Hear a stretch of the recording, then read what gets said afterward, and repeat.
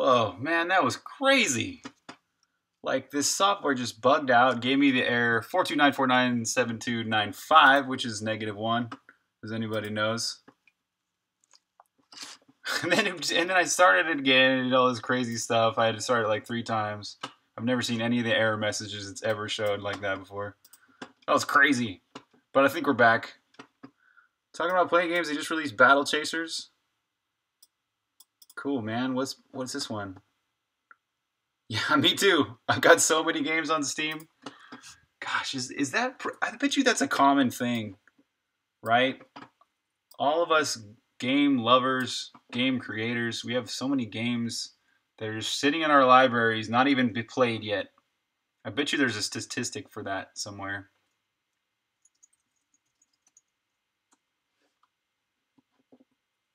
Yeah, Halloween sales coming.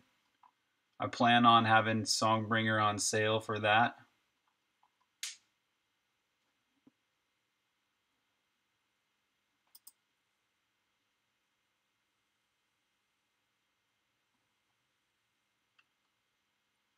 Sweet, look at this.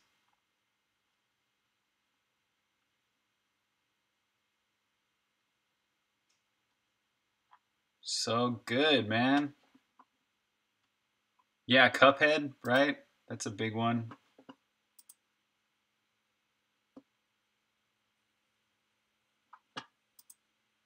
yeah, right. Uh, I wish I could say it would be different for me, but it's not. Definitely not.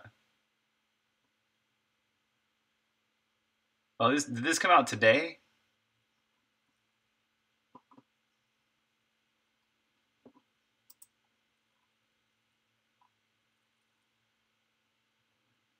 Wow, they already got a DLC.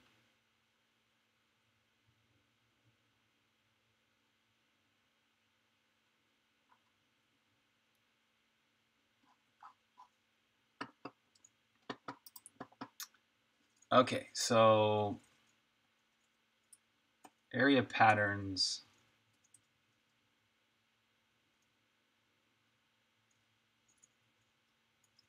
Pattern, yeah, yeah, yeah. Ah, there it is. Okay, this is what gives it its wall, wall edges. Yeah, you have 93 games? Programming is your core outlet. That's so cool, man. I love it. Gully, what language are you programming in right now? Yes, right. Songbringer is is one of them sitting in the library. I hear you. I totally hear you. I have so many games I that I I like, and I haven't just haven't even finished either. Like Rain World and Owlboy. You know, I haven't finished either of those because I just haven't had time. I haven't made the time because I'm working on the game mostly. Okay, so let's see if the walls are correct now. Good, okay, we got regular walls. Nice. Um, what does the map say for this area? Oh, it's not showing me the map because I'm down here.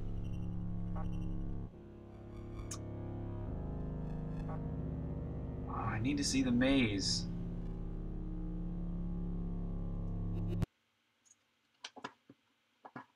Hmm. So I need to confirm that this maze is actually create it's creating this the right maze shape here. C sharp, nice. And C++? Cool. Nice.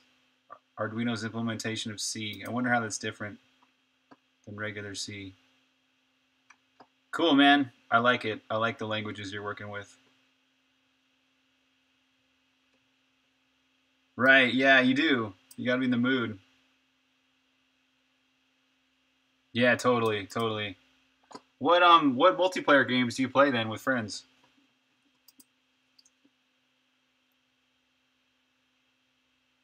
Okay, what's a good way to see the shape of this?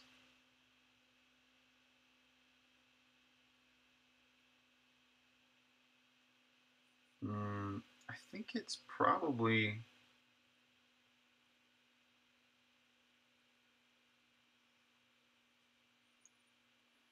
create maze creates a maze and the maze gets generated with a certain shape and that's in maze gen Something.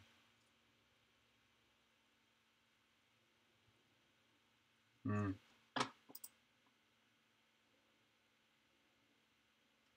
Yeah, final. Oh, the new Final Fantasy where it's like a total like it's like a totally MMO, right? Golf with friends, Rocket League, cool. What's PUBG?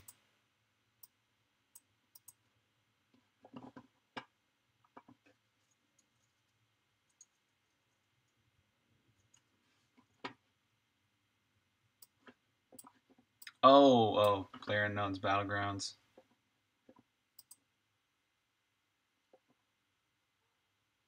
Right, okay. Doesn't it? I highly agree. Game making is a It's one of those things that forces you to be efficient as a programmer. Oh, oh, the NPC party? Oh, okay. Nice joke. I like it.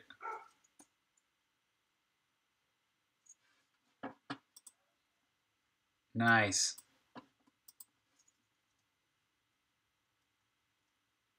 There's this one thing where it does this certain shape.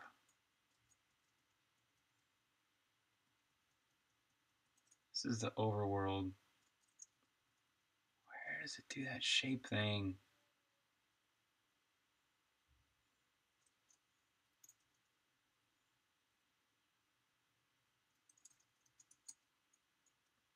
Oh, here it is. Great. Plus sign for the ship.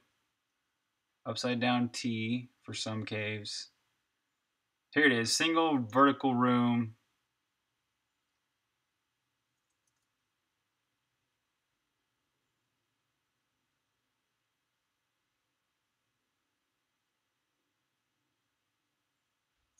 All right, so if the z is, what's the z in this function here? Maze generate. I don't know what. Oh, this might not even know it's Z. Okay, we'll just say if size Y is greater than zero, set a breakpoint here. Just make sure that this is being created with the right openings. So there should be openings to the north, openings to the south,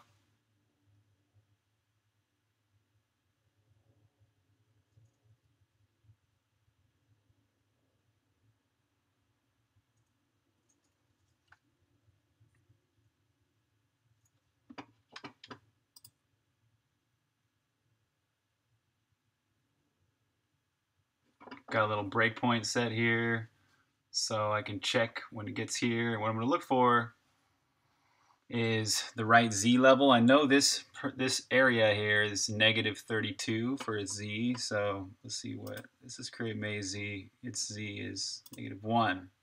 Okay, so we're going to get a lot of these. Oh, whoops. It's supposed to be size y greater than 1 to properly catch the areas we're looking for.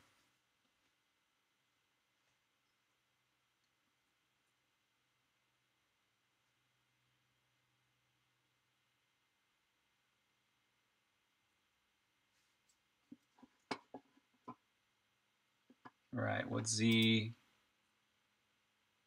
This one's negative 8, which is, what is that? Oh, that's the, uh, this is an underground entrance. All these next ones are going to be underground entrances, probably. Negative 10, yeah, yeah.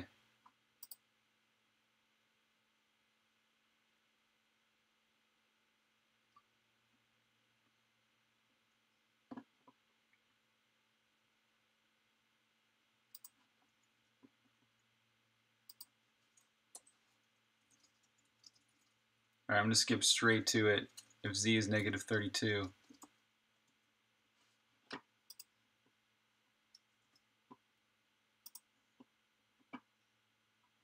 I can undo this breakpoint first and then re-enable it once I got this next thing here. Let's catch this first breakpoint.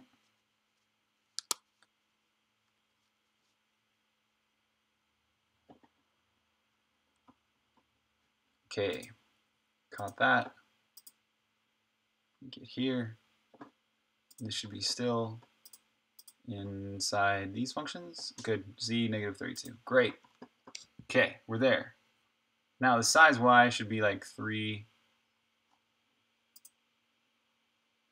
Mm -hmm.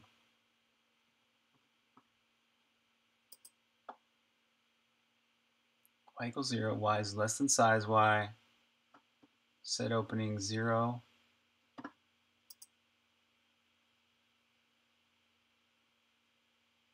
What are all these? Oh, X, Y, southwest, north, east.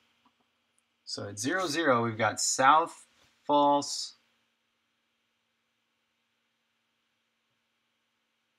north, true. I guess north, true, yeah.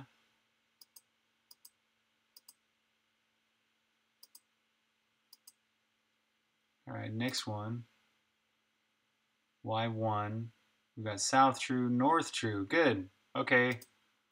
This math is uh, this is working out. It's kind of a a burdensome way to check this. I guess I could have checked a map somewhere, but there are no maps that are printed for this area, so maybe this is the easiest way to double check this. Okay, and then the third room, x0, y2, got south true, but north is false. Good.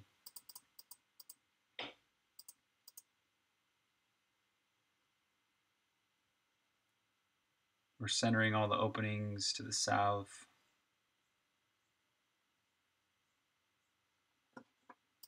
Okay, that's correct. Can live with that.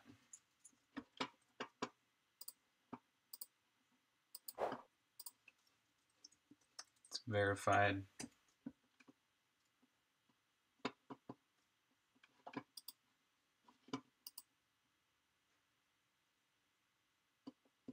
Sure, of course. Yes, send away. Love that.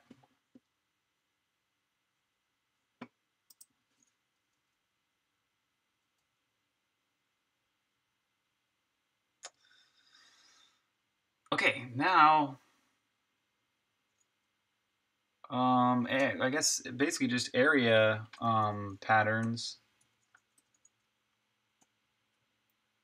this right here is going to be blocking off the top, which is probably just this section right here. Let's comment that line out. Nice, man. That's perfect. Twitter messages I check. Twitch messages I'm bad at. I'm pretty bad at Twitch. So if anybody's messaged me on Twitch, I apologize. I just really do not check my messages there. But Twitter, I'm on all the time. Same with email. Okay, good. So there's um the wall is gone now, but I want to create um some kind of pathway in the middle and keep the wall but take away the center part. So AW2 This is going to be K-tile, none. And then for the part that's sky here in the middle, after it draws the sky, we'll draw some sky, sky, what are these? Autocomplete's not working. This is something I really gotta, I need to spend some time on my Vim RC and figure out the things that are still frustrating me. Like I love my fuzzy finder. I love there's so much stuff I love about all my Vim setup. Mostly it works, but really the the one part that's kind of the weak link is the autocomplete.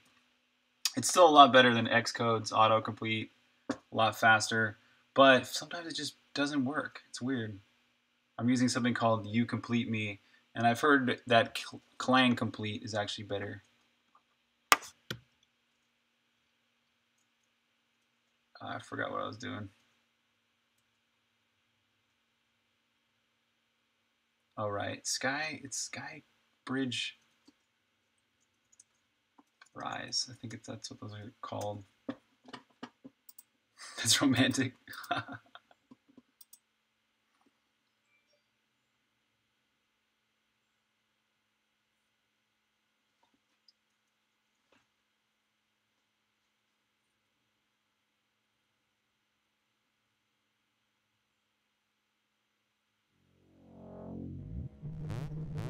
Nice, cool. So we got some, let's turn off all this debug info. Uh-huh. That's really what I wanted to see. It's just this bridge rises. This might become a secret at some point, but I kind of, oh, that's cool. I guess it's already risen now. Yeah, something like this. This will probably become some kind of door right here. But this is the gist, right? You come up into this room, you fight a bunch of enemies, it unlocks your way up this way. And then this is something special where you get an item an ability. So, let's see that bridge rise again. How does that look without the debug? This also could be a, a secret, right? Like these could just be secret blocks, so you could walk across here, but you have to have faith. You just like walk out here in the middle of nothing. But I think I'd rather have it be obvious at first.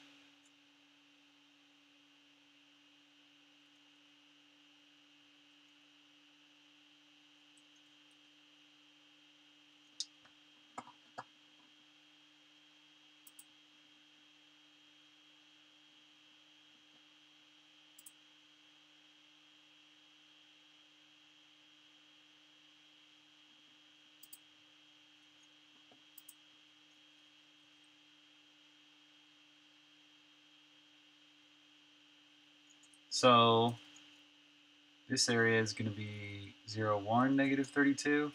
We're going to start there in the middle of this. So now it's time to make enemies come in waves. So this is the this is the part right here where this is the um this is the crux. This is what I wanted to accomplish on today's stream was just having enemies come in in waves like either they come from off screen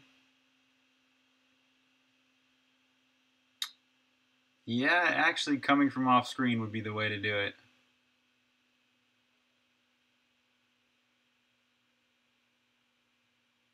So,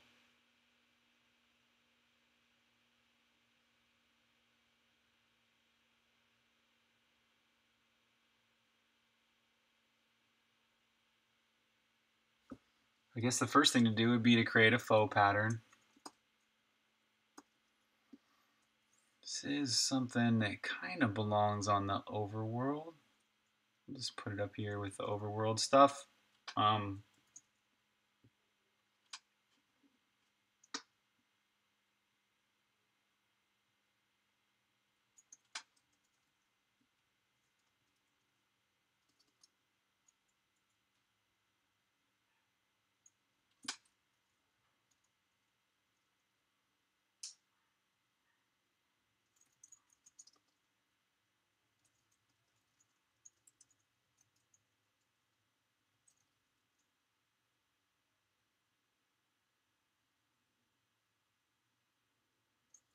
let's just put some regular blobs here for a second and see if this even works to add a foe pat. Oh man, I wonder if this is going to change anything.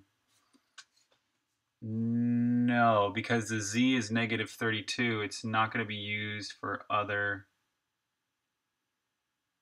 It's not going to be one of the choices for other areas, so it should not change any of the existing foe patterns in a world.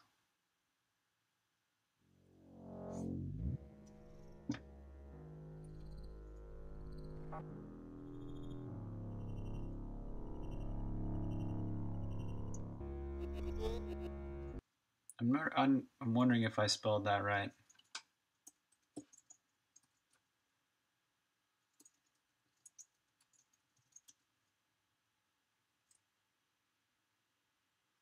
Yeah, yeah, zero ship interior.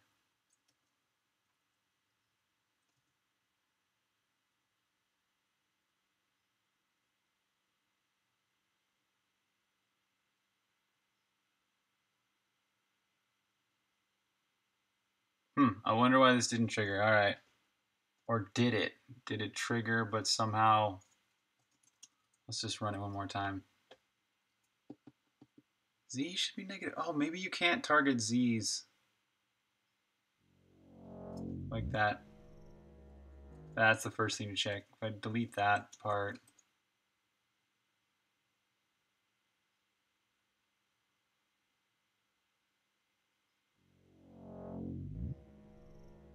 Hmm, okay, it's not even targeting it there. Hmm. No enemies. Alright, well... Oh, wait a minute. It's creating a maze Z, so maybe that's why.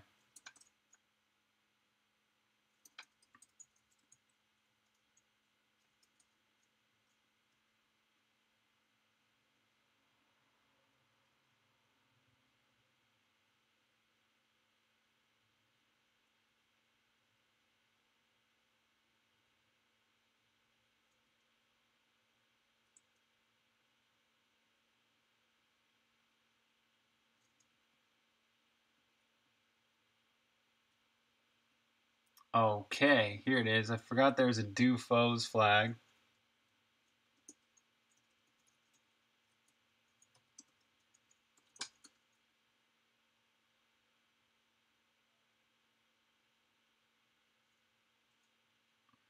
Hmm.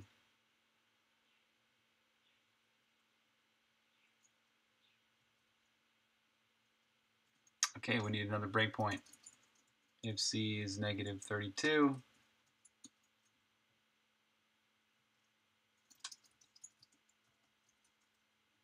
figure out why it's not using it. Nice, you got a Songbringer badge already. Hope you got a you got the rock badge. Right on. Cool, man. That's the first one. I got the rock badge too. You can now use this the sword.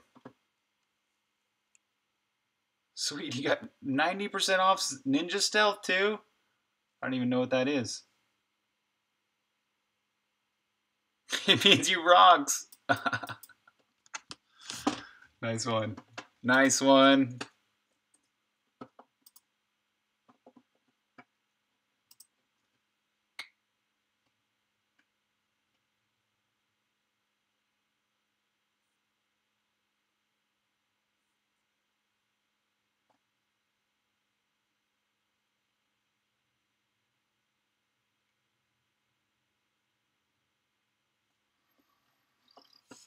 All right, we got position zero zero.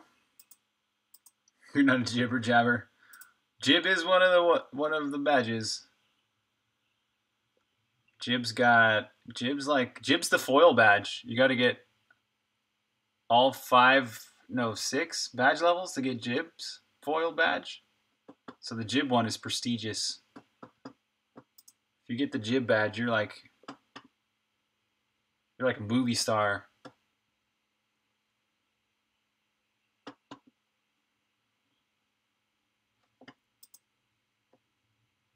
that's a, that's only a 72 sake game. Thank, thanks, Steam. Thanks a lot. All right, here is the the one in question. We got do foes true. All right, so at least it's getting there. It's adding the foes. Get the difficulty. They're almost paying you. Ah. Uh, if only Steam did that, right? Paid us to play the games.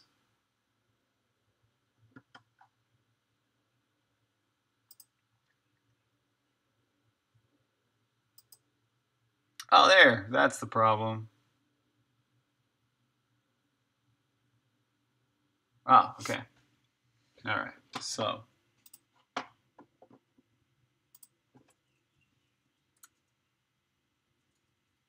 There's another case where it should be allowed to have foes. Please help us spend all these keys. Definitely. There's a lot of. Yeah.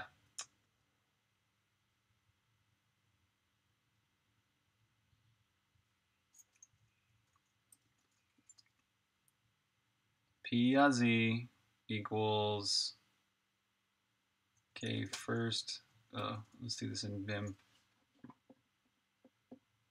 right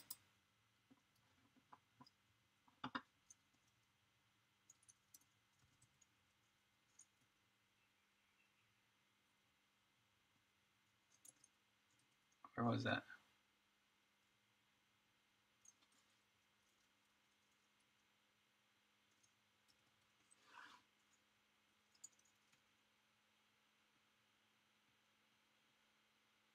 There we go.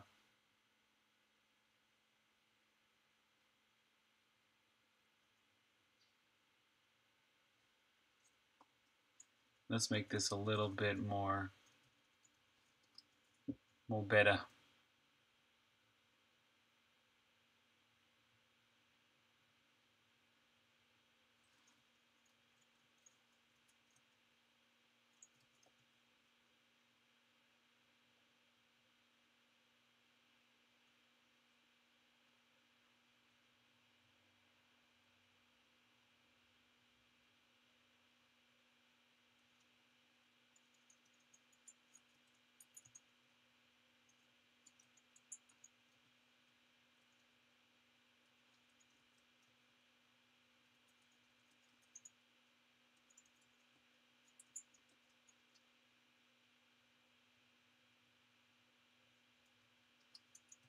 So that's, I think, first interest the, the area dot pattern minus k pattern zero ship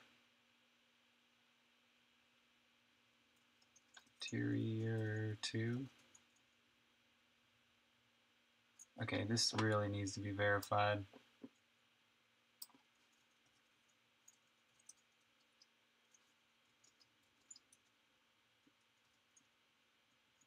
I just need to look at that number and make sure that's right.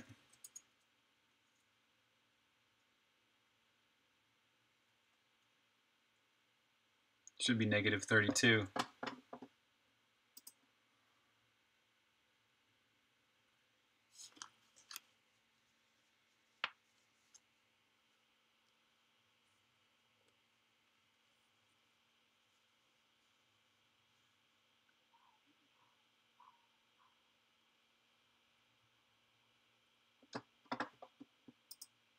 Negative 73.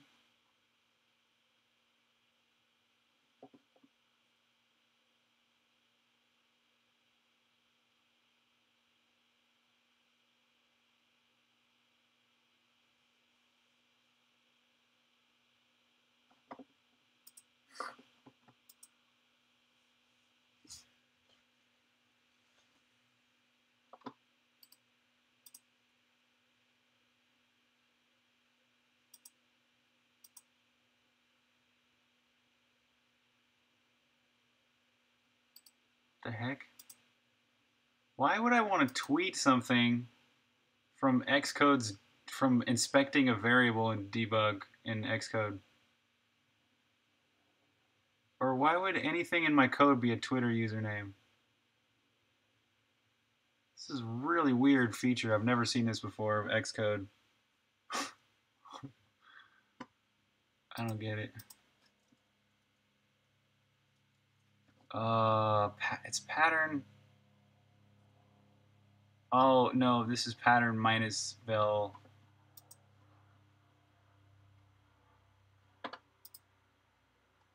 Try it?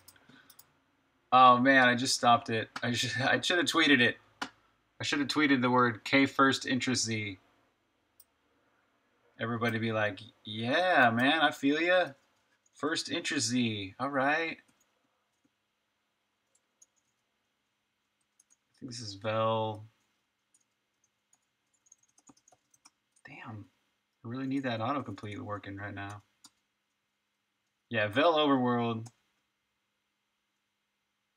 Pattern minus vel overworld. That should give you like an offset, and then, then this should be should be right now. Okay.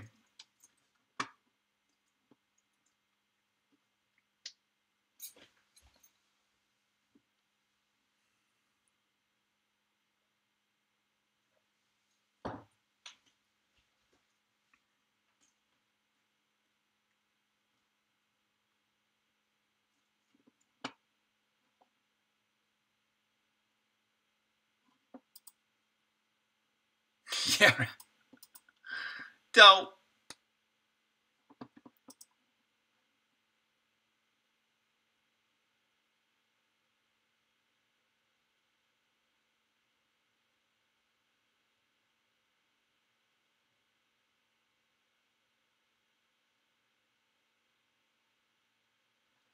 Oh my god, I got a way better idea. Jeez. Just to check the pattern. So if the area dot pattern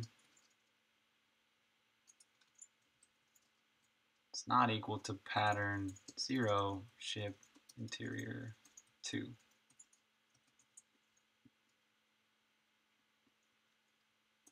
So that, that pattern can have some enemies on it. That's really all that matters here by changing this little bit of code. Basically just adding one little expression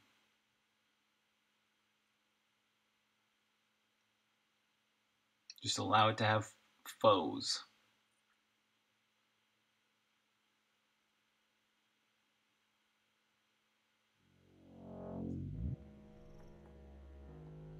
Damn it, we still have no foes.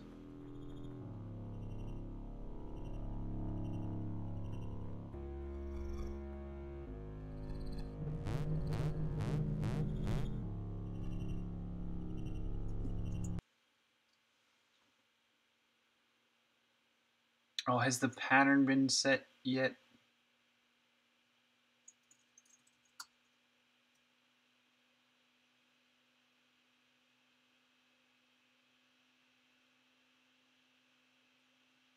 Yeah, okay, it's already got its pattern. Okay, what what gives?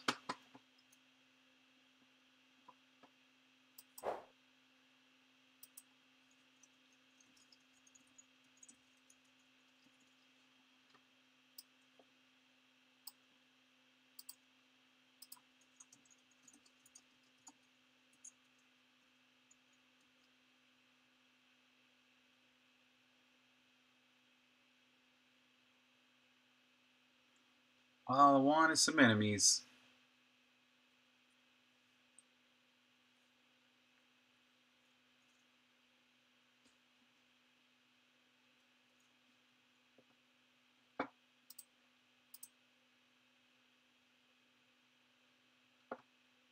Great, we got this breakpoint. That's proving that indeed this pattern is here. Maybe it's just not matching the pattern now for example, area, yeah, it's, it's right Z, right pattern.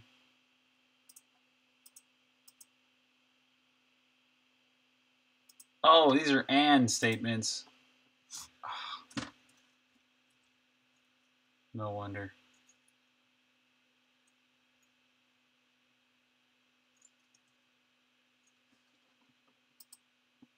What's up, feared killer? Hello. Thank you. Cheers, man. Welcome, welcome, welcome.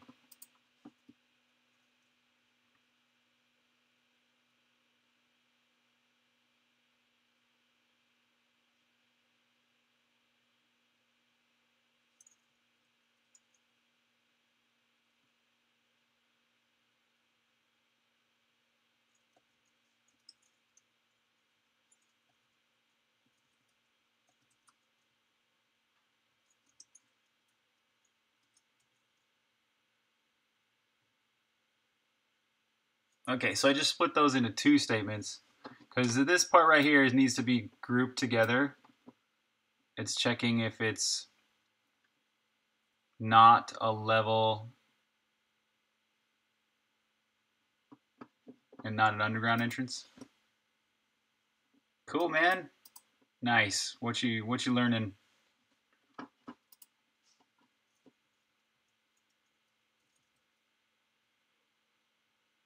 Okay, so we're done with that. Well, hopefully this works now. Come on, give me some give me some freaking enemies on here. Need some enemies. Need some challenge in my life.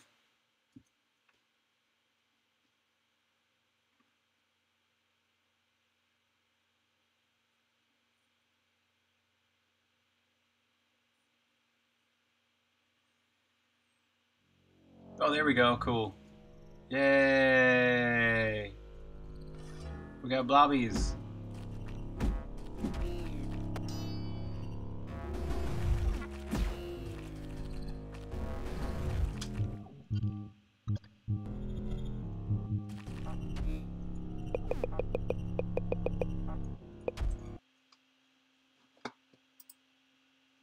Your life is too peaceful. And right then, it finally works. A lot, hopefully. Cool, man. The game's come along great. It's nice to have it all released now. Just be working on this first update here with these two new sword abilities, parry and the charged attack. And also there's going to be a new armor item. And there's going to be at least one new boss. And this room here where you get to fight these waves of enemies or bosses or both.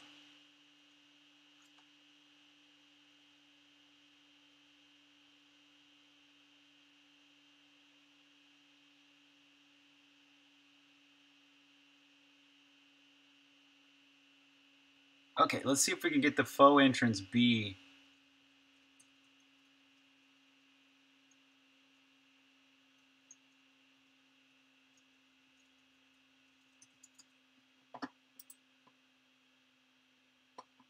Oh, that's right. The skeleton went that too. That's a big part of this. Uh, that's already part of the Steam version. And I think even the Xbox and PlayStation versions already have that too. Where you, uh, don't quote me on that but um, yeah, the courage skeletons, that's kind of a big thing. Well, it is for people that die a lot, which is a lot, a lot of people do die a lot in this game. It's not it's not easy. I do too, man. I think it can kind of maybe take off a little bit more than it has by uh, doing some updates and sales. You know what I mean?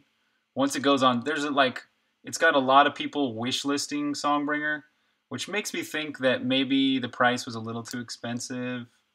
You know, 20 bucks is on the higher end of indie games and you know what I mean? It might have just been too expensive for a lot of people to buy right away, but if, but a lot of people wish listed it. That's for sure. It's got like it's got a significant amount of wish lists. So I think when it goes on sale for the first time, it's going to get a good bump, and when it goes on sale the next time, it'll get a new another bump and stuff like that. So I hope so too. So far, Songbringer is enough. It's enough to make the next game, which is really all you can ask for, I guess, in game development. You know, I'm ex- I'm excited to make the next game. I'm not quite ready to make the next game. I'll definitely need some, you know, I need to finish Songbringer here, and then I need a little bit of a break, maybe a month. Just take off a month, and then start on the next one. Yeah, people are buying everything that's coming out on the Switch. Is that the trend right now? Is that why things are a little bit different? It feels like on Steam to me, people like I don't know. There's like there's something different lately. Even this summer. Yeah, so I I don't know. I don't know. I probably not. There probably will not be any Songbringer on Switch. It's expensive and it just never got in you know it never was part of the plan because it was it just finally came out you know the switch came out this year and they were really stingy on giving out kits stuff like that. You think in general people are scared before they actually play a game like this? Yeah. Yeah i think so too. And i think a lot of gamers today have a big um a big red flag or like a warning with games that are procedural. And so Songbringer is procedural, you know, and there are times when Songbringer is a little more difficult than it's supposed to be, you know, because it's so it's so permissive and procedural that it allows you to get in the, you know, sometimes there are harder rooms than there should be. So I think that procedural thing scares a lot of people off. Rocket Bunny, what's up, man? You watched a GDC talk a few days ago, and a guy was talking about all of his games and how most of them took a long time to really reach their prime. Really? I would love to see that. Do you happen to remember what that talk was named? That would be really encouraging to watch something like that right now. Nice, man. Rocket Bunny, how you been, man?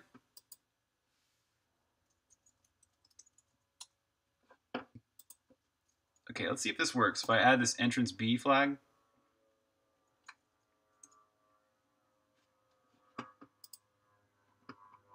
Yeah, I think I saw that one too. I think I watched that. It was about their development process, right?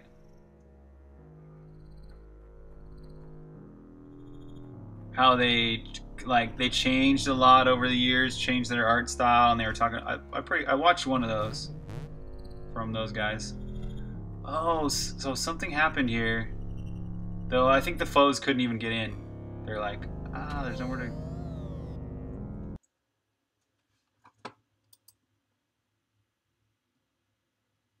Yeah. Oh, they have two of them. Oh, okay.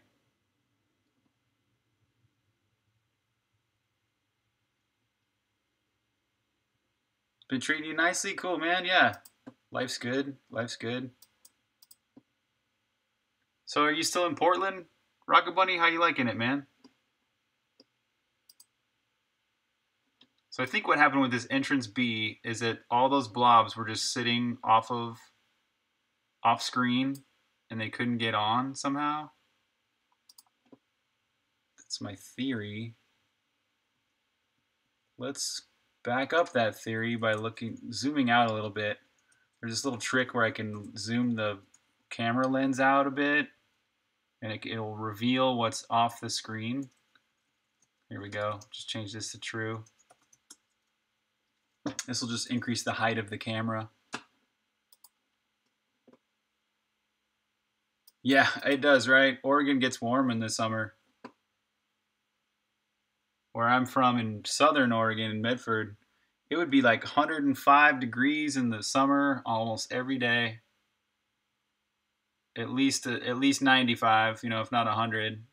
That's like over 30 in Celsius. I know that, right? I think it's over 30. But anyways, it does get hot in Oregon in the summer. I'm glad you're liking it though, man. I remember you weren't liking Seattle as much, so I'm glad you're in. I'm glad you're liking it in Portland. Nice, man. Found it. Sweet.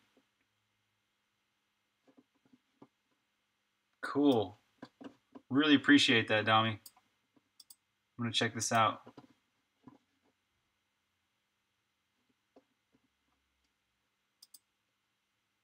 All right, let's see if this um if we get the zoomed out camera, if we can see that there's some enemies off screen waiting to come on screen.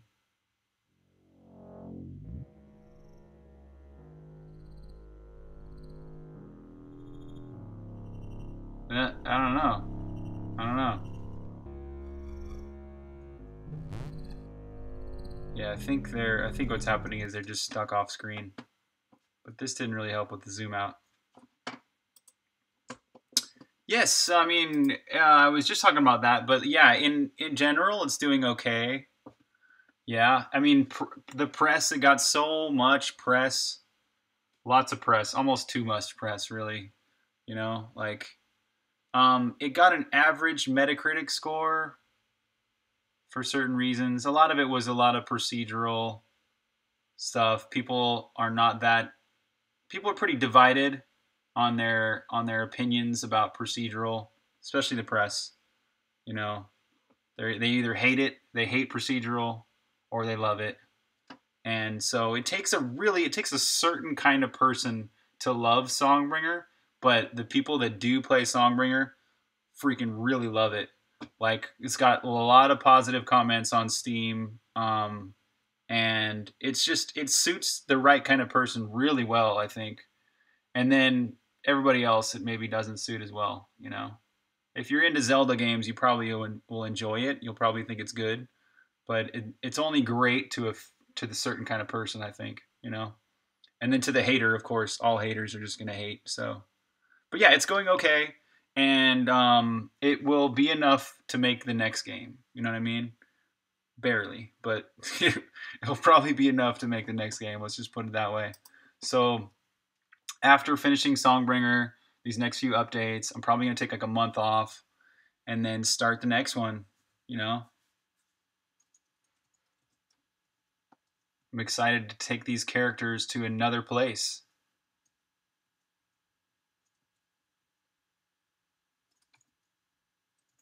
Okay, these these foes that start off the screen, they use this thing called mood off screen. yes, yes, I do. I do. Um, it will probably be from another character's perspective, which is probably going to be Jib. So you're gonna you're basically gonna play the next game from from Jib's eyes. So you'll have all these different abilities and stuff, and it will be a totally different character. No, I am not going to start from scratch. Um, I've built a lot of really cool reusable components with Songbringer, um, and I'll be using a lot of that. So a lot of the systems, especially, especially all the components. You know what I mean? Check out. I mean, this, there's like so many source files that are components like name component, move component, position component. All these things are really simple individual things that can easily be used in the next game. And then a lot of stuff is very, very specific to Songbringer, like the systems, basically. You know, input system is a lot of the abilities and items you use in Songbringer a lot of that will have to get rewritten. So some things can be reused. I'm guessing maybe 30 to 40% of the code can be reused, which is a lot. That's like 30 to 40,000 lines of code, which could save me a whole year practically. You know what I mean? And that's actually my goal too. I would love to make the next game in say two years instead of three, faster if possible. And I'm actually considering. I would like to get you guys' feedback on this right now. If you got if you got some feedback, but I'm considering making the next game not procedural. So um, it would be it would be the same. It would probably be the yeah. It's gonna be probably the same kind of game, like a top you know a top down three quarter perspective action RPG. But totally different items and abilities, and probably not procedural that's the part I'm I'm I'm on the fence about this. Like song you could say Songbringer's greatest strength is its procedural, but it's also kind of its greatest weakness, you know what I mean? In the sense that it can create these random situations that are not always I guess you could say not always well designed. You know, it's like shit, there's a room that's super duper difficult right there in this particular world and it makes some players frustrated, you know? You think it's a smart idea for going for going no procedural? I think it. The one thing about if I make the next game not procedural, um, it will save a shitload of time. Yeah, you're thinking, you know, stronger narrative, right? Right, that too. Yeah, could put, focus more on the the actual songbringer part which really didn't get that much focus in this in the first Songbringer game, the partying part at least, and exploring space and all that. Yeah.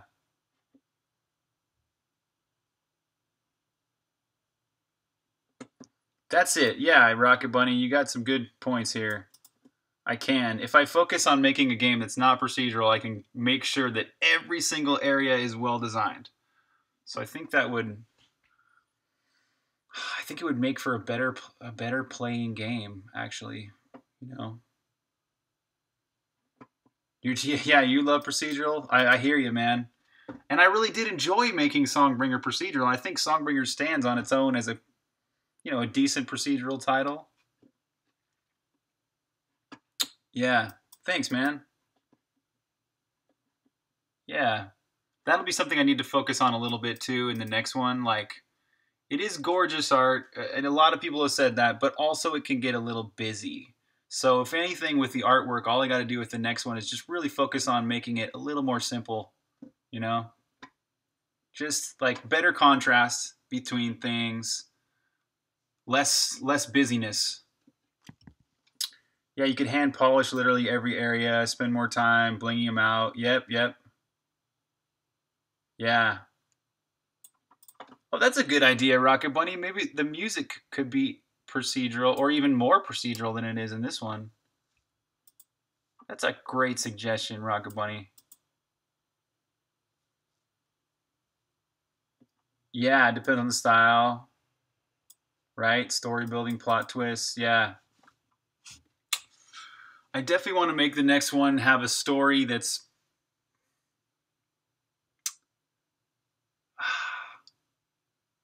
I guess I just kind of wrote I feel like I wrote kind of a dumb story for the for this first one with Songbringer or at least the main character Rock is kind of a dumb airhead rock star kind of character that a lot of people don't really relate to. I don't know.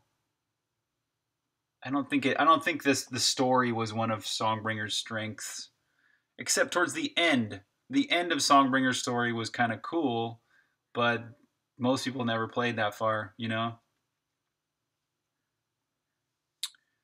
Yeah, something different. Yeah, yeah, it's totally hard. It's a hard balance there. I'm I like I'm glad Songbringer was procedural. I I've this is that it's this is my dream game. You know, this is like I I've always wanted to play a procedural Zelda.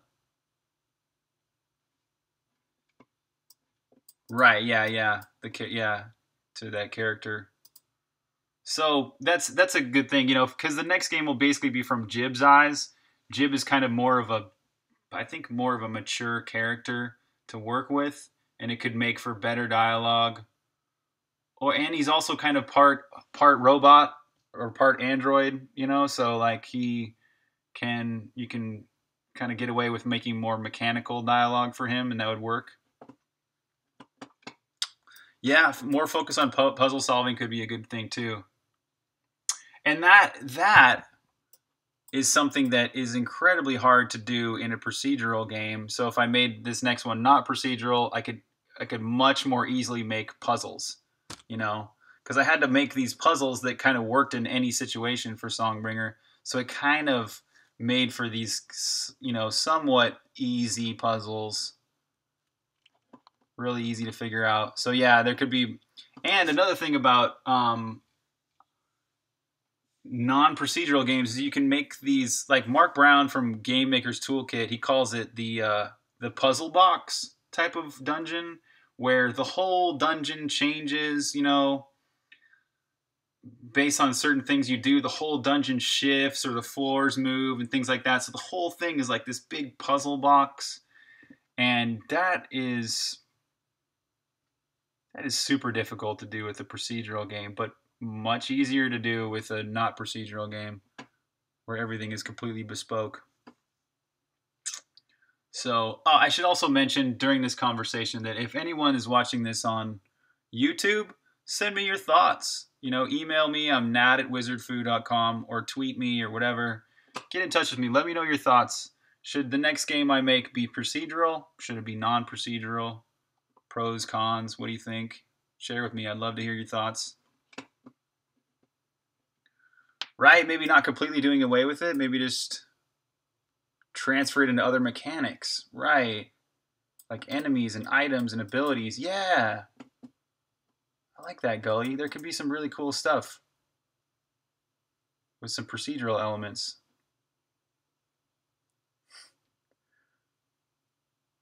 Corral Rock.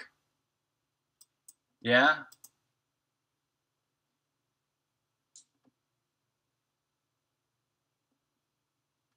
Path blocking puzzle style. Thanks, man. Appreciate that. Yeah, this is a super cool idea. Thanks, you guys. This is great. Thanks for all these great thoughts. Yeah, right. It, this could be really interesting with Jib as the main character, because he's he can do like he can do sort of you know, computery things, roboty things. Yeah, this could totally this could totally be pretty easy to do actually if you think about it. I couldn't I would have to write one AI, but I could mishmash art or or even procedurally generate art. And also I, I really like the way that um love the way that Rain World did their um, procedural animation, where every bit of the characters was a little bit of a blob, and that way char- characters look so organic and amazing in Rain World. I'd like to do that for for the next game, like do some procedural animation or procedural quests. Interesting, interesting, good idea. That's true, Gully. That's true. And that's another example of Songbringer's greatest strength and also its greatest weakness. Right? I wrote this game that's supposed to be really friendly for speedrunners, but it's really only friendly if you play the same world. You know? You got to get to know that world. Which I guess I guess it's not too much of a downfall because if you're a speedrunner playing Songbringer, you're just going to play the world, the one world that you you want to get good at generate a different plot. Yeah, yeah. I hear you. You're trying to do it yourself too. I saw um, I saw uh, Ben Porter from the guy that's making uh, Moon Man. He was researching that a while ago. Um, there is there is a lot of stuff about procedurally generated um, narrative, and it's I I saw some output from some neural network or something like that that was supposed to generate prose and it was really basic. It was really kind of horrible, actually. But I think if you thought about it enough, you could definitely create something that could create some kind of procedurally generated plot, if not, or maybe just sort of randomly arranged plot, maybe. I don't know. Audio puzzles. Oh, right. That's cool. Yeah. I like that. Audio puzzles. I haven't seen that section of The Witness. I'll have to go watch another playthrough of it. I watched a I watched a speed run of it once, and I don't remember that audio puzzle. Oh wait, no, now I do. Now I do. Yeah, I remember that part. Yeah, audio puzzles are also another example of something that would be better with non-procedural. I think. Oh, he did. Oh, that's cool. I love Tom Coxon. He's a really friendly guy, too.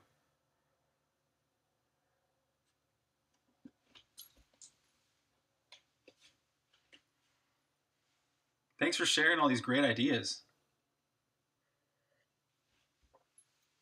You know, it'll probably be like, it's definitely going to be like next year before I even get started on it.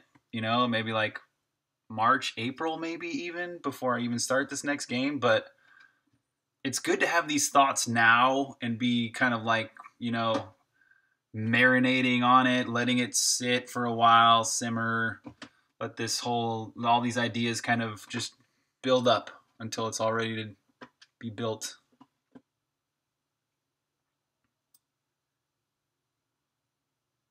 Yeah. Is Jai, I don't know. I don't think it is.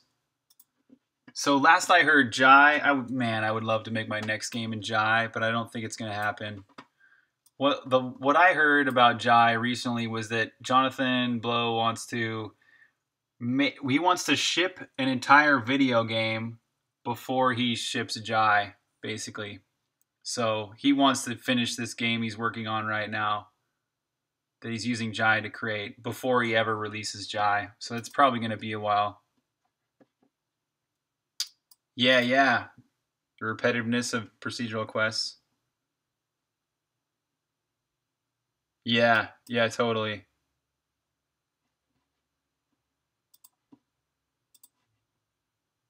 Yeah, just all all you need is crafting. It's true, man, right? There's some there's some been some huge titles lately with crafting in them. Starbound is one of them, right? Was it, am I thinking of Starbound? What's the game that got like freaking seven million? That sold seven million. Say, was it Terraria? I think it was both Terraria and Starbound did really well. And of course, Stardew Valley. All games that have crafting. All incredible successes financially. I would love to have a, an, an incredible financial success with one of my games, but I think that's how it works. You know what I mean? It's like you're not just going to have a freaking incredible success your first try. And maybe it takes you some, you know, I'm sure it takes people sometimes 10 tries before they get a game that's really successful. Some people, maybe it's their first try. Some people, maybe it's their third try. But it's like not every game, you know what I mean? Not every green game is going to make you rich or or make you able to live the dreams that you want to live. Like for example, I would love to start a studio at someday. Yeah, it was. Resource management? Is an idea. Uh-huh. Yeah, yeah. Energy per day or or maybe he uses resources in some unique way. Maybe that's yeah, that's something to think about. And that too, yeah, you're gonna learn a lot from every game you make. Totally. I've learned a lot from making Songbringer. Even even about little things like how what kind of time I spent on certain things. You know what I mean? Like, I'd say I pers- I spent at least sixty percent of my development time, if not seventy or eighty percent of my development time on programming which a lot of it was procedural stuff, you know, and fixing bugs about procedural stuff. Right? Yeah, I re- I'm really looking forward to watching this talk. He was trying for 11 years. Yeah, yeah, cool. Yeah. That's a This is a really important lesson to learn, you know you gotta like i guess i'm learning that I, I guess i'm just i'm just grateful i'm grateful that like that songbringer is this much of a success you know what i mean my last game was a complete flop it was the game before that a flop too i don't know anyways my last game was a complete flop two years and uh, ran up all his credit card debt but this situation is a lot different songbringer paid for itself. You know what I mean? It had a successful Kickstarter. It got tons of press. It's built up a, a, a fan base, you know, a following for this kind of game. Um, there's a lot of success behind Songbringer.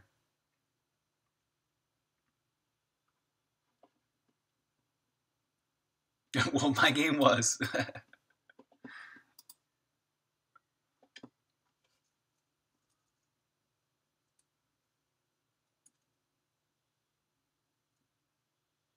So, oh, here's this bit where it it places an enemy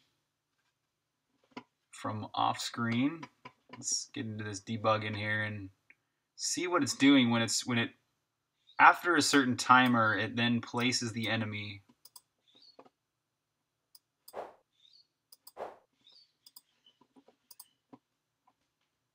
Yeah, totally, right? 11 years. Yeah, totally. I, I agree. I agree. This is the beginning of something great, and um, I'm really, I'm really humbled and excited, and just grateful that it's, you know, that it is what it is. I'm, I'm excited to be on the path. You know what I mean? It's a, it's a journey. It really is. You got it. You make one game. It's not the end. It's the beginning, really. Even your flops. Even if you're making games now and you've had a flop too, damn, I know how you feel. I've I've been there, and that flop, as long as you learn from it, it is a success in a way. You know what I mean? It's a success if you turn it into a learning experience, and that's how I had to look at it.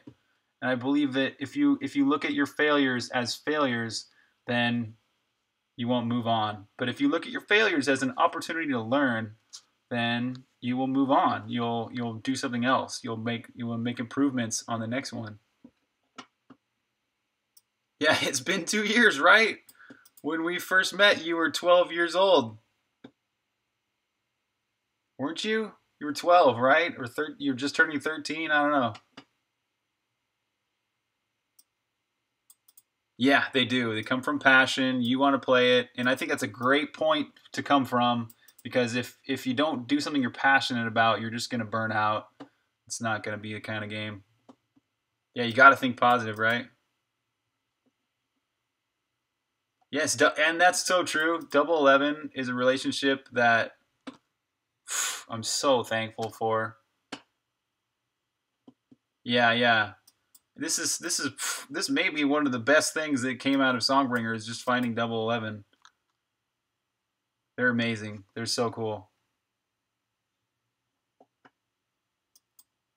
Yeah, true, true, true. You're you're baby rocket. ah.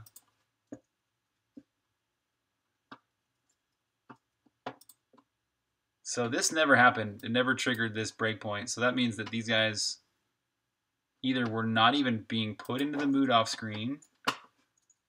Could be. It's probably this. Like, is it even getting there?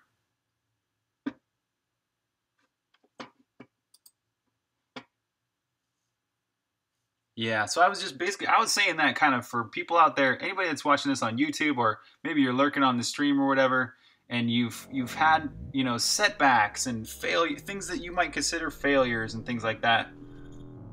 Just you know, take the time to learn from them.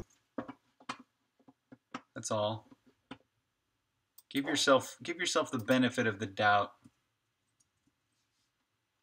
and just learn.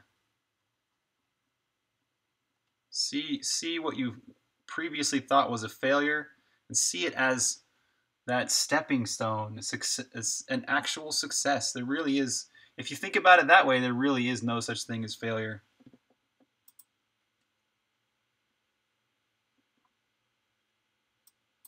You you probably never would have left Game Maker. Yeah, man, good for you. Hey, you last I heard you were learning you were learning C, right? What are you What are you learning now? What you What you coding in, Rocket Bunny? So it didn't get there either. Oh, it might not have allowed foe entrance B. Set a breakpoint there.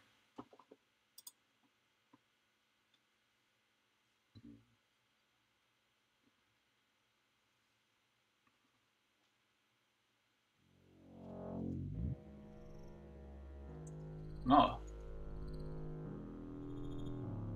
Okay, if I go off the screen, come back.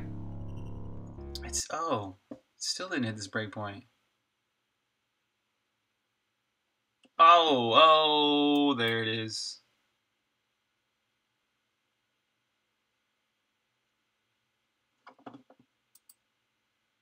Yeah, cool. C in JavaScript. Yeah, Node is cool for for for web stuff, for sure.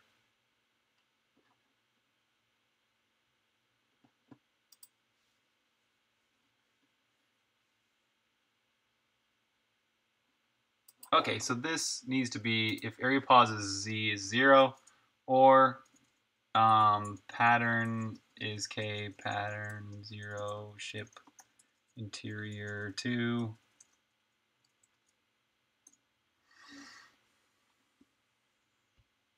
So that should allow this foe entrance B pattern to work so these foes come in from off the screen.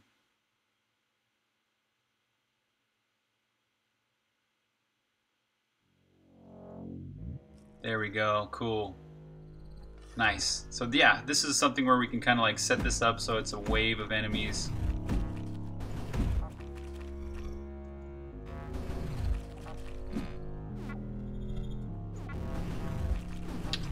Okay.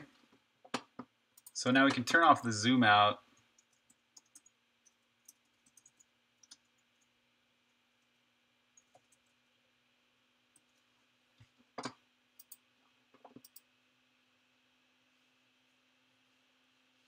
And Let's see if we can just overload this with enemies now.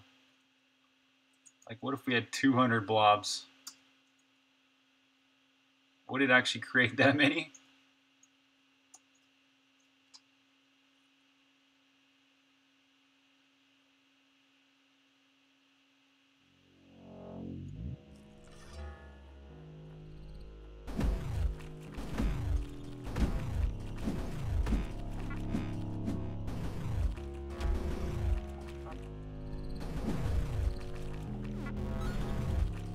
They're definitely not coming on the screen fast enough. Well, I mean, if there were harder enemies, I guess they'd be coming up on the screen just about right.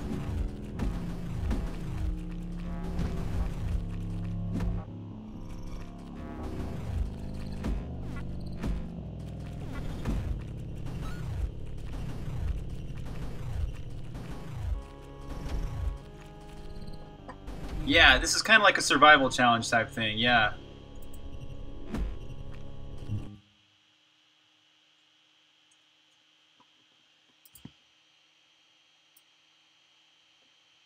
Yeah, C++ was a wall for you at the time? Yeah. Nice. So that's cool. You kind of recreated that structure. Oh, okay. Okay, I hear you. That might be just your thing. You know, you're a you're a pipeline and engine programmer, and that's your your jam. You know, that's your passion. there should be a take counter for that.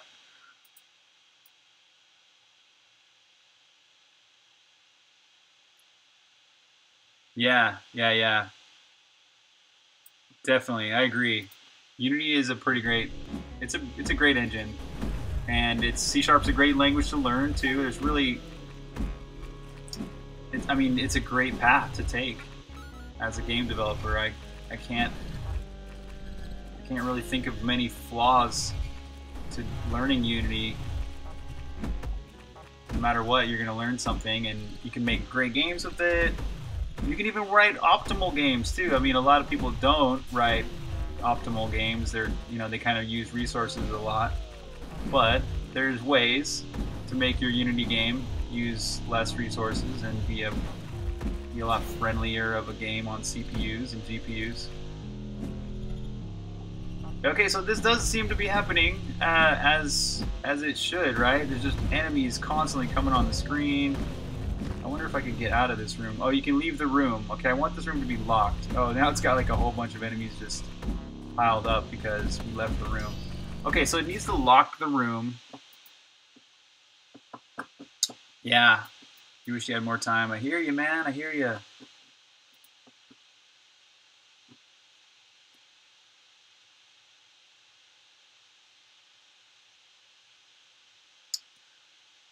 Gosh, this is great. Okay, so the goal for today's stream has basically been accomplished. I just wanted to see a room with that's like underground or in a level or dungeon, whatever kind of.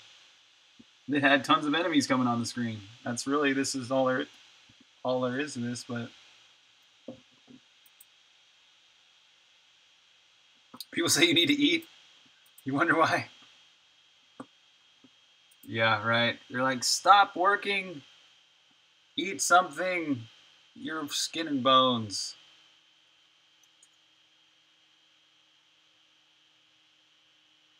So this room needs to be locked. Let's do set flags. Locked. Eating's for noobs.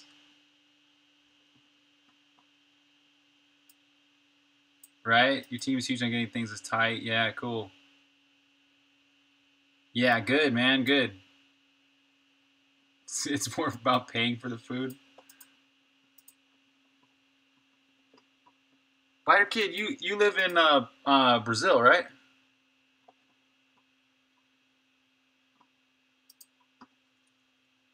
Is food expensive there? So let's try it with locked. How, how do you like living in Brazil, man? What's it like for you?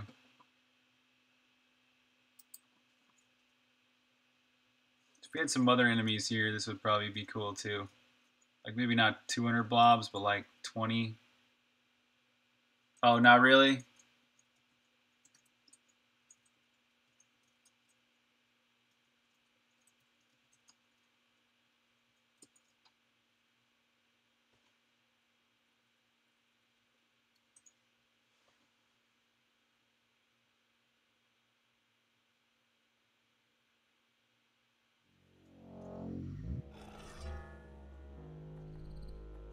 Good. This time I can't walk out of the room.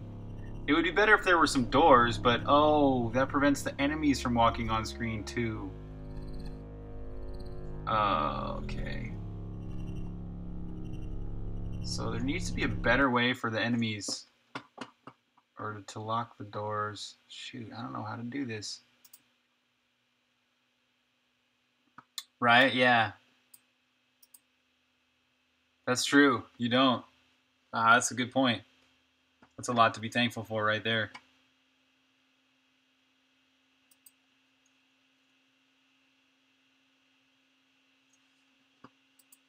Yeah, uh-huh. Yeah.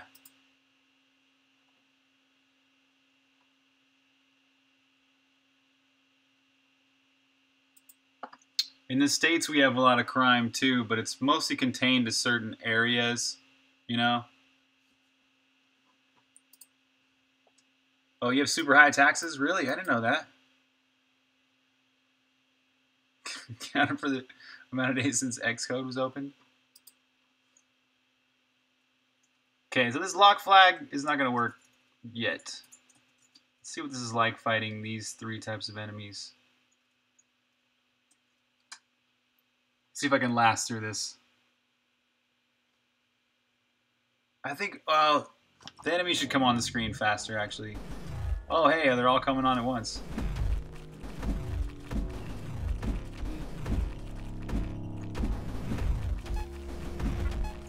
This is definitely more interesting. Good, this is basically what I wanted to experiment with. Like, what's it like to fight a wave of enemies like this? Really, mechanically, it needs some way to, to lock the edge so, the, so that you you can't walk off, but the enemies can walk on. So that's just, that's a pretty simple thing. Figure that out. But what is it like if I did just stay on one screen? This like charge attack is super sweet. It really, it's like a bomb almost.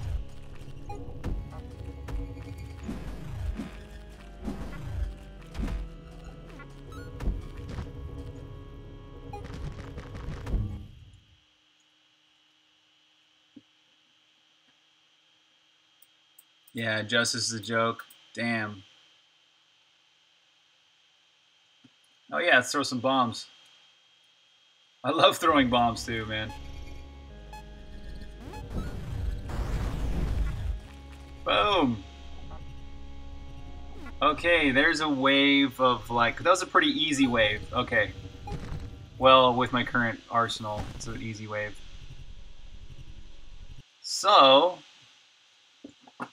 that's good to know that like 20 blobs, 20 drops, 20 raws, they, they blended together as they came on the screen. So that was good. And this, this was like a pretty easy amount of enemies. Let's see what it's like to fight three times as many enemies. Maybe some other kinds too. It's easy in COD mode, right? I know all my debug stuff is super makes things pretty easy sometimes. We need like a synth, but not not like 60 of them, maybe like 10. Um, what's another good enemy to throw on here? Maybe like a Jiter Fire. These guys are kind of a totally different movement pattern. That adds some something interesting, I'm sure.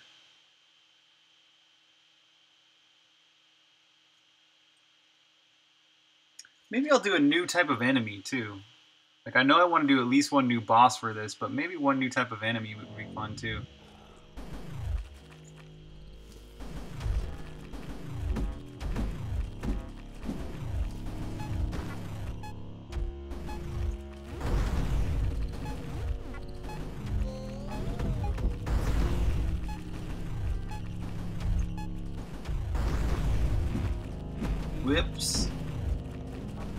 Got his work cut out for him on this one.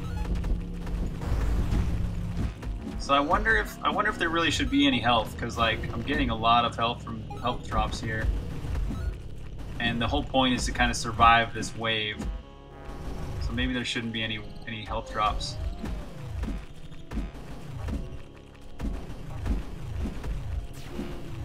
Despite having so many enemies, it's really not as crowded as some of the rooms in Songbringer are. Some of, some of them are just packed to the gills with enemies, which is the whole point. You're supposed to get lost in the the feeling the feeling of being overwhelmed. That's what you're supposed to feel. And you're supposed to feel like you lost the character. Like, where's my hero? I have no idea. I'm fighting blind. That's the point. You're supposed to feel like you're fighting blind. Good. Okay, so with 60 enemies each, these I'm still fighting a bunch here. I guess if Jib if Jib wasn't scanning fast enough here, this would definitely be you know, like he's I guess he's catching up, keeping up with it.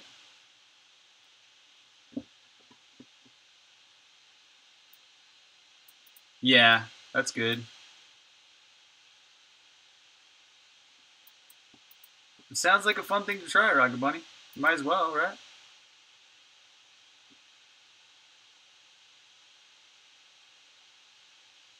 And you drop equipment while fighting? Interesting. What do you mean, like you, you would drop like certain items that you have? Like, whoops, I dropped my uh, I dropped my top hat.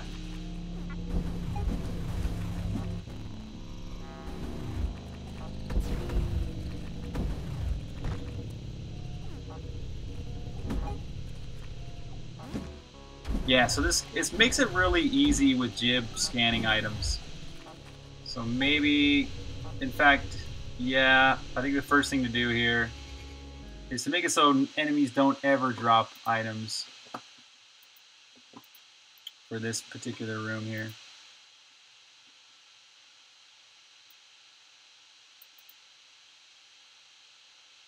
Nice, man. It works well with Unity, too.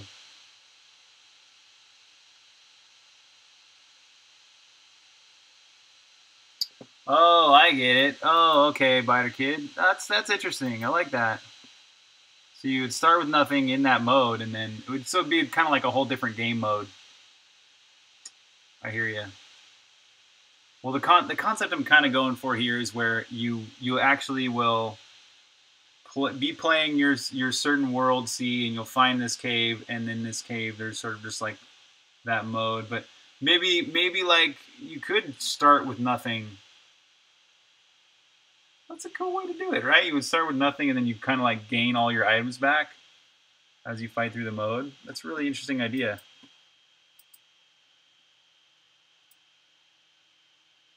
Yeah, you're going to move out of the country? Nice. Oh, yeah. I would encourage that, Gully. I definitely would.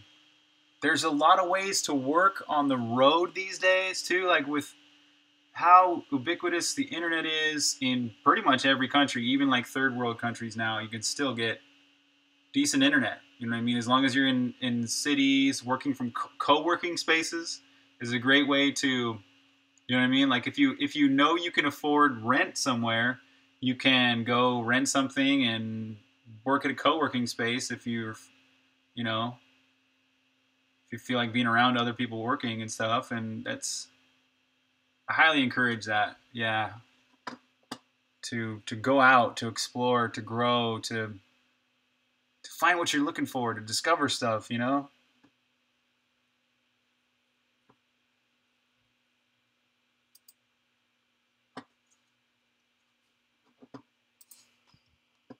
Yeah, there's a whole thing now. It's like there's actually a whole scene. It's called Digital Nomads. You can look that up. If you just put in the word, word digital nomad on YouTube or anything, you'll see there's like there's a whole scene of people that basically just pack their all they do is pack their their life into a backpack and their work. So they bring their laptop, you know what I mean? They have clients already, maybe they're working for or they have a job that they can do remotely or they have their own online business basically that makes them income they just put everything they need in a backpack, including their laptop, external keyboard, whatever you need to do to work, and you just go around the world. In general, those people kind of like will typically stay in a place for a little while, like maybe two weeks or a month, you know, and then move on to the next place, try something else. Bloody Palace, yeah, arena mode. Nice, man, yeah. That's kind of what this is. Yeah, it's kind of like a, just a wave type thing. And that too, yeah, if you got clients, you can travel, go work for that client, you know, find another client maybe, work for that client, travel more. Here, here's someone robbed their laptop. Oh, I, oh man, I, I hear you. There's places like that in the world. There really is. But it, um, usually, usually the co-working spaces though that you're gonna go to are like a little bit. Sometimes they'll have security. You know what I mean? Like I've I've watched a few videos here and there from people that are digital nomads, and they'll sometimes they're in a in a place like that, and they'll they'll have to like, you know, use a key card to get into the co-working space. So they their their laptops pretty much kind of secure while they're working. And also, you can put a little lock on your laptop. That's a that's a good thing to do anyway. You know, if you're going to travel with your laptop, you should probably have at least some kind of lock, so you can lock it in place if you're going to go to the bathroom or whatever.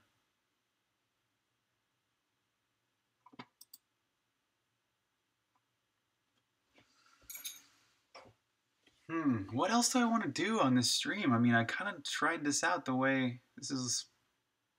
I like this. This is a good beginning, you know? It's a good start.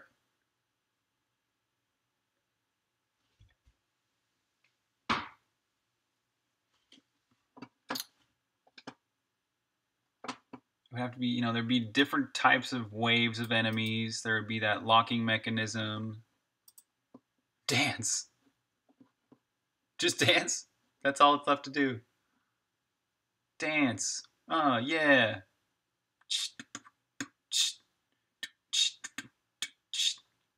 I feel like I feel like strong bad. Here you go, everybody. Man, I have a pretty bad strong bad voice. Sorry, I won't do that again. I'm I'm disgracing the name St- strong bad. Well, I, I guess that's it. That's that's it for this stream. Yeah. Let's take a, this one last look at what I what the code was done today. Add a little foe pattern. Entrance style allows different enemies. Freestyle, get down. Japanese style dance. Ooh, ah, dance, dance, dance. Ooh, ah, Japanese style.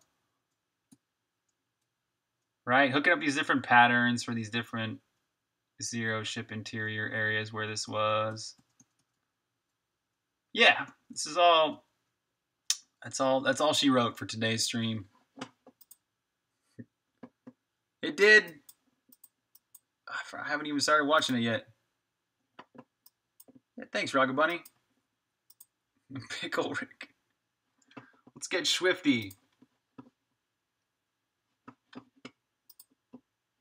Well, well, hey, thanks for watching, you guys. Survival mobile. you have to survive being mobile yeah, appreciate it. Thanks, you guys. Thanks for all the thoughts too about next game stuff. do with that pickle now. uh, well, hey, I appreciate you guys watching. I appreciate your your camaraderie and your friendship. Thank you. Thank you for sharing your time with me. Yeah, we'll see y'all next time.